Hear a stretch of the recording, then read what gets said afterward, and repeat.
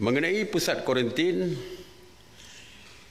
sebanyak 185 pusat kuarantin telah beroperasi berbanding dengan 180 pada hari sebelumnya yang mana 16,391 individu sedang menjalani proses kuarantin wajib.